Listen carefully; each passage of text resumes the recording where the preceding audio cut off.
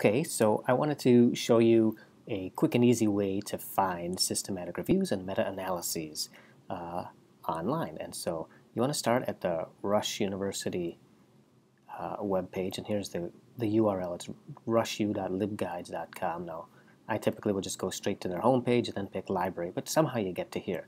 And then from here, pick PubMed, which is over here in this corner here. Now you can get to PubMed from other ways, but by doing it through the library site, it gives you direct access to the articles.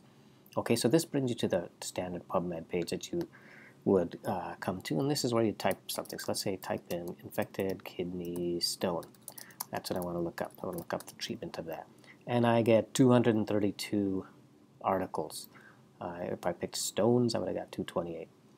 Uh, and so that's a lot of things, and some of them are pretty not relevant, right? In vitro studies of epithelium associated. I don't care about that. This is not clinically relevant to me. So let's go back. We don't want to.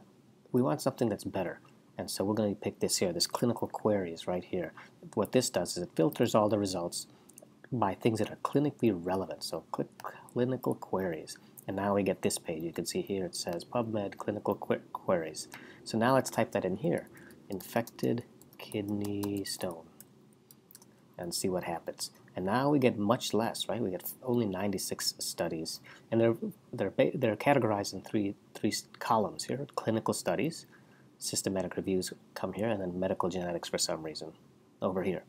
And you can pick from one of these five different character uh, areas for you want to maybe diagnose infected kidney stones, a prognosis, or some predict, clinical prediction guides. But right now, let's say I'm looking for therapy all right?